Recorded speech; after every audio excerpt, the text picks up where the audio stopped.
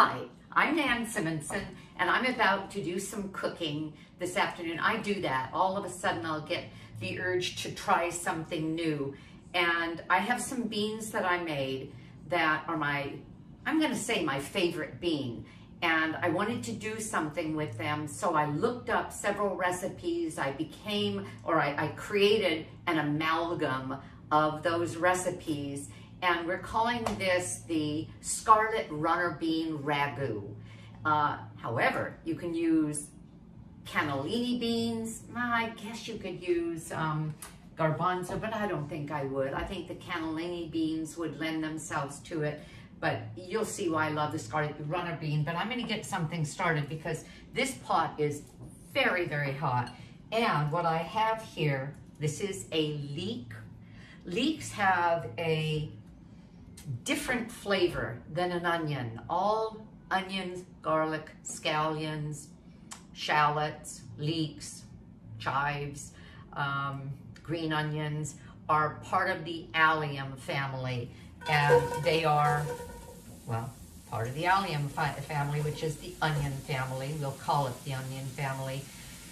And they have similar traits so you can interchange. You could use a regular white onion here, in which case what I've put in is about, I'm gonna say two cups. So that would be like two big onions or one really big and one medium onion. Um, and I put it in this hot pan. This pan, before I put these onions in it, had nothing in it because unlike every recipe I looked at to make any kind of a dish that uses a a a um, a base of sautéed onion and garlic and carrot and uh, anything like that. The French call it a mirepoix. Uh, if you use that kind of a combination every one of these recipes called for oil. Two tablespoons, three tablespoons, four tablespoons. Some people, I'm thinking someone in particular, says, oh, just drink the stuff. No need. Save yourself a few calories and don't do that. And I think when you put a lot of oil in things, it's the first thing that hits the tongue, it coats the tongue. I think that it dulls our taste for really pure flavors. I haven't put oil in my cooking for almost three years. When I went whole food plant-based, I was inspired by Dr. Caldwell Esselstyn, no salt, oil, or sugar, from uh, Dr. Um, McDougall at Truth, uh, well, Dr. Mc, is it Dr. McDougall? Who he'll he'll add a little oil to some things, but um, anyway, a number of the doctors on a whole food plant-based diet are very aware of how difficult it is to stay on point in terms of um, how we're eating, how much we're eating, if we douse our food with salt, oil, and sugar, three things that make it very hard for us to stop eating. Those are chemicals that are light up our brain and it makes it hard to know when to stop. In addition to that, and if you've heard my videos, you're thinking, oh boy, here she goes. in addition to that, the um, oils are very high. The processed oils are very high in omega-6 fatty acids. We are most of our bodies on the SAD diet, Standard American Diet, are very low on omega-3s, incredibly high on 6s. How do we bring them back into uh, sync? Um, a ratio of 3 to 1, 3 sixes to 1 3, or um, 1 to 1, 1 uh, omega-3 to 1 omega-6. We cut back on all the oils because, and unfortunately, they're in all of our um, processed foods. You look at any recipe, they say add oh, canola oil, safflower oil, corn oil, soy oil. I love soy, but not the oil. Now, what I'm doing is adding my oil substitute because what was happening is I was getting some browning. Now, I have garlic I'm gonna put in here because a mirepoix would also have garlic along with the onion. But if you put onion, sorry, garlic into a hot pan, it burns. When it burns, it's bitter. The onion has enough moisture that that's not going to happen. So leek has, and that's what got me started on the whole thing about alliums. Leek is an onion, but it's, it has a very delicate flavor, a lovely bouquet almost, um, much milder than a globe onion. And I love using it. You can use them in thin slices, raw, and cut them in half, clean them out because they are layer upon layer upon layer of um, uh, onion. And you can kind of see how the layers have sort of pushed up, but the whole thing is layers on layers. I'm gonna put this one back in the refrigerator, so I didn't want to cut it up. But let me show you what's happening. So that's why I chose leek. I buy these from Trader Joe's for a few dollars, and there's two of them per bag, so I'll even put it back in this bag. Okay. And I'll put that back in the refrigerator. Okay. As this is cooking, and I'm adding a little bit of my oil substitute, which is nothing but a little bit of vegetable broth. And the vegetable broth, I make, you can buy it, but I make it from my um, scraps of vegetables. And I talk about that and why um, on my cooking class. Go to nansimonsen.com, that's my website. Click for the YouTube channel, and I have lots and lots of videos there. Okay, so what's happening here is I'm getting a nice browning. Oh, that's not too hot yet. I'm getting a nice browning, and um, the flavor is fantastic. Then I wanted to show you a fun little tool. This is a Tupperware chop and prep. You can get it from a Tupperware lady. You can get it from Amazon. I had a huge head. I like buying the big heads of garlic. It's easier to peel them. And these cloves are, look how big some of these are. For example, look at this one. That's a big clove of garlic. And yet there's some teeny ones. And so when something says use a clove of garlic, what do they mean? What I came up with is I chop it in advance. I'll peel the entire head.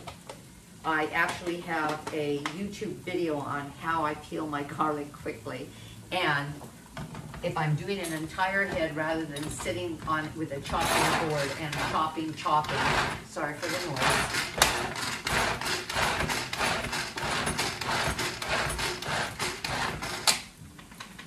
Okay, ta-da! Look at this.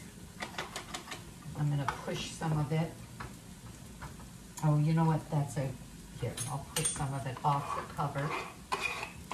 And look, what I have. I have chopped garlic. I'm going to add four cloves. And what I did is I figured out by measuring all of this that one tablespoon of chopped like this is, sorry, three teaspoons. So I'll put a little more, like a lot more because I love garlic. And when garlic is cooked, it becomes sweet. You burn it, it's bitter, okay? So I'm done with that. Now what's gonna happen is I'm going to use a little spatula, like the one here, it's kind of narrow. And I'm gonna scoop all of that into this little jar that I keep in my refrigerator.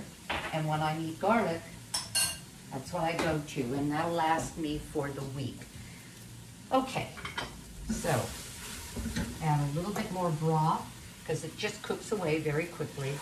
And now I'm going to add the next ingredient, which is a pound and a half of sliced mushrooms. And then I'll get to my beans as this is cooking. And I'm going to show you a little bit more about my scarlet runner beans. Okay. Now you know what happens if you're if you like mushrooms. You know what happens with mushrooms when you cook them. What what happens? They weep. They they let go of a lot of moisture because a mushroom has a massive amount of moisture in it. I'm using a cup and a half of sliced mushrooms. I put the stems, the stems were kind of tough and um, they were kind of dry, and so I threw them into the bag of my broth uh, clippings, along with celery and the celery bottoms, carrot.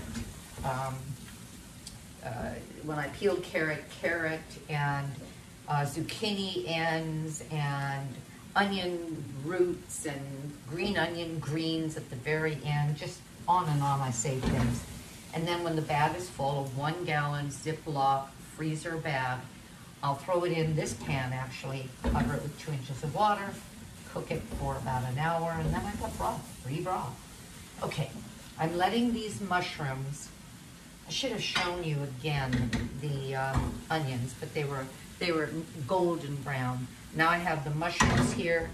They are going to, I'm even going to cover it right now and let them weep a little bit more um, effectively. Okay, so let me tell you about these beans. I get, I like Rancho Gordo. I go straight to their website. They're pricey. You can go to Amazon and look for Scarlet Runner beans from different organizations, uh, meaning companies. Um, Rancho Gordo does a lot of, they don't spray, they're not organic, but they don't spray. They do heirloom beans. They're dated, so they give you nice, fresh, new crops, and they cook consistently well. Well, why do I like a Scarlet Runner beans? Well, for one thing, they are gorgeous. Look at that. They actually are kind of, well, are mottled pink and gray. Just a great looking bean, but look what happens. When you soak one of these little cuties, look at that. Look what happens. Now that is a big bean. Uh, mm, it's a, I'm sorry, I'm gonna spit on you. it's a mouthful. Wow, that's so good. Mm. I cooked them like I do garbanzo beans. So if you go to my cooking channel, look for yummy Instant Pot garbanzo beans. The garbanzos I cook 18 minutes. The scarlet runner beans after soaking them overnight, that's 8 to 12 hours and then done. Um, drain the water, put them in the Instant Pot, follow my directions. And the garbanzo beans and the way I cook these, I cook them savory. In other words, I don't just use water. I use water and then some, what we call a bouquet garni, um, some thyme, some bay leaf, um, some onions, some celery, some uh, carrot, not all chopped up because I want to be able to fish it out of there right away um, and drain it and have nice clean beans rather than beans that are all kind of messed up by things in there. But see what I have now, after I cooked a pound, this pound, after soaking it and cooked it, I ended up with four, a little more than four cups, two of these. One of them went into a one quart Ziploc freezer bag in the freezer and I'm able to just shake those out. I can put some in a container, defrost them, and that can go on a salad. That can go on some other soup. They're so big and hefty. They're fun to have even, um, oh, scattered on top of like a cream soup. Uh, I have a pumpkin soup that I just served recently and put a few of these on there. Ooh, it was really fun because it was very unexpected. They were just kind of floating on the top of this orange soup. I'm gonna open this because I'm seeing the steam, which means that, yep, they're doing exactly what I thought they would do. The mushrooms have begun to weep. See, really wet. Now, I wanna stop that because what I'd like to happen is I'd like to concentrate their juices and then I'll put the rest of the ingredients in this ragout. This is a really fast recipe. Now, quite often when I'm doing something like this, I get this inspiration. I had been gone a good part of the day, came in, thought, I'm gonna do something with my soaked, cooked scarlet runner beans. Let's look up a ragout. I had the mushrooms, they had to be used because I bought them, oh gosh, four or five days ago, a, a pound and a half. You can get organic crimini, brown or white, um, and the brown mushrooms are just a more mature white mushroom. Um, white button. And um, I got these at Costco. I always buy two boxes at a time because I can't find them at a better price for organic anywhere. And so I always get those. But they, they needed to be used. So I thought, okay, I'll do this. And I love to cook and it's a fun thing to, to do.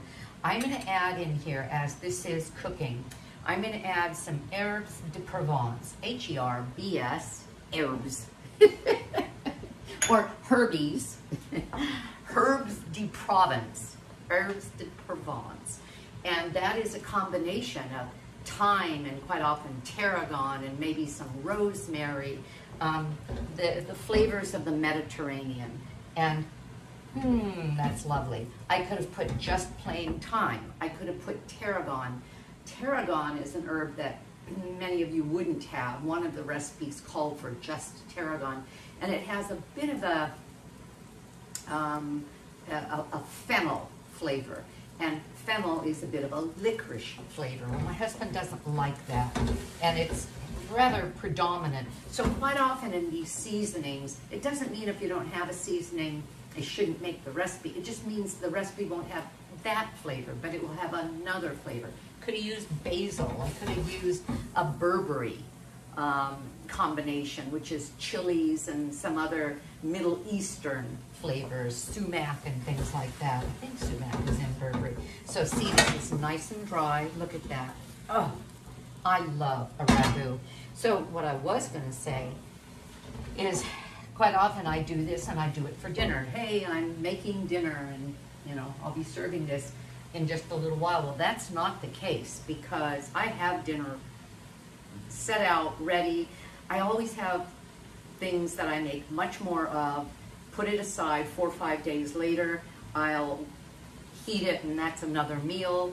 The rest of it had gone into the freezer, so days, days, days, weeks later, I'll have it for dinner. That's what you want to do if you make the mess, make it worth cleaning. So this is going to give me several meals. Well, that was already out. It needed to be eaten. So this is just going to sit overnight before we eat it, and then I freeze the rest of it. Um, so what I'm adding now is I'm adding some, I grow chilies in my garden, and I had some poblano chilies that turned red. And the poblano is not a really hot chili, but I like some heat in things. So is this is this a a addition that you would normally see in a ragout? Uh, ragouts are usually, I'll say French based. Yeah, but I want some heat. I got some heat. I'm going to throw in some celery. Why? Celery adds kind of a, it, well, celery adds its own flavor, including salt. It, it is a more more um, salty, uh, one of the more salty of our vegetables. Then, and this is getting, see this is completely dry now. The, the mushrooms have wept. And this is, I could stop this now and use this as a base for, oh, if tonight's meal was uh, my big um, purple Japanese sweet potatoes that I heat up, split open, white flesh inside, purple skin. I could spoon that on there and put some of my tofu sour cream and oh my gosh, what a great meal. And I have broccoli ready to steam. Perfect meal. Whole food, plant-based. If you haven't figured that out and you're new to anything I do, that's who I am. For three years now, whole food, plant-based, no animals. Um, are in any way used in my food, not butter, cheese, dairy, cat, well, I was going to say cats and dogs, oh man. Um, sheep, cows, pigs, goats, nothing. I used to, but three years ago, I improved my health and my husband's health dramatically by saying we're going whole food plant-based and the planet needs us to. So I'm going to take my beautiful, cooked, great, I'm going to use the word meaty to the mouth because you take a bite of this in this, I might just be eating a big piece of chopped meat, but I don't shouldn't use that as an analogy because I don't want any big fat chopped meat. But if somebody is transitioning and trying to go plant-based, why not? Oh, look at that. Big, giant chunks in there. I'm going to add a what is that, 28 ounce can of crushed fire roasted tomatoes. That just means that they were roasted and the skins got a little blackened, which gives them some additional depth of flavor. And I could have used diced tomatoes. I could have used fresh tomatoes. All right. Now I'm gonna add to this two medium-sized zucchini. They were pretty nice size. This is about, oh, where's my little measuring cup? I'm gonna say this is about two cups. You can watch as we measure as I throw half of them on the ground. No, it's not. This is about, I'm gonna say three cups of chopped zucchini or two medium. You know what, it kind of doesn't care. I've got zucchini all over. Uh, it, it, it, I mean, doesn't matter because it just means you have more or less. So that's how I cook. Now, here's the other thing I'm gonna do. I didn't know how moist this was going to be. Remember, I kind of combined a bunch of recipes. And I want a looser ragout. I don't want a thick goopy stew. Um, we like broth in our soups. We like very brothy soups. We will both like this much better if we have if we have broth. And one of the recipes included a lot of broth. And so I'm gonna go more toward that. And all of this will be in the recipe. When I type it up, I'll have known what I preferred. You know what I did? I defrosted. I spoke to you about doing my garbanzo beans in the Instant Pot. Well, I kept the broth for that because there was so much flavorful ingredients. There were so many flavorful ingredients in the garbanzo beans as I cooked them that when I drained them to then freeze them in freezer bags and I used those all through the month, I kept the broth in two and a half cup, two and a half cup um, containers. And I'm gonna add, and I like that, so I'm adding a bean broth to this bean ragout. And I'm gonna do it to the degree that I want this to be. So this is gonna be a ragout that is somewhat like a stew, I think. So I've just added, oh gosh, I've just added about a cup and a half I think it's gonna end up being two cups because I like that. Can you see what I've done? Okay, so what's gonna happen now is this is gonna cook. I may add more broth because the, the beans have starch as they cook and the whole thing becomes one unified um, recipe. The, the starch is gonna thicken this even further, plus there was starch from the initial uh, broth and I'm gonna cook it, taste it, um, balance out flavors. I may add some cayenne to it at the very end. I'll put some lemon juice in it. When I do beans, I almost always do acid at the end. It can be balsamic vinegar, it can be lemon, um, the lemon juice. And I'm gonna cook this for about 15 minutes. It might be longer. I need to get the zucchini cooked. Everything else already is and um, all of that will be on the recipe. And then I'll show you the plated uh, ragout. I hope you've enjoyed this. I hope you've learned something. Put my cover on. This by this pan, by the way, is one of my favorite. It has a nice thick uh, multiply bottom that uh, distributes heat well. It's made by All Clad.